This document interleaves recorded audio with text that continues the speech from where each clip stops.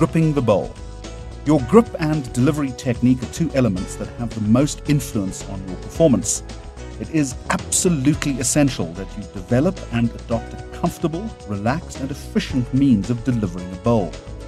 Choosing and engaging a suitable grip for your individual circumstances is one of the initial key stages in ensuring that you are in complete control of the bowl as it leaves your hand.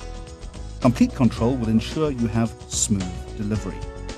It is important to establish a delivery routine in order for each delivery to be the same, thereby ensuring that you have a systematic approach to the game.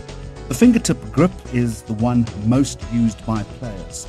Holding the bowl in your non playing hand, place the thumb and forefinger on the rings or dimples and let the rest of your fingers fall wherever they are comfortable.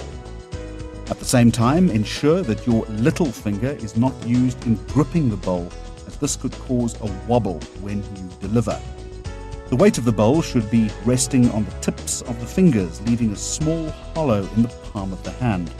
It will be noted that your middle finger will be the last contact point with the bowl as it.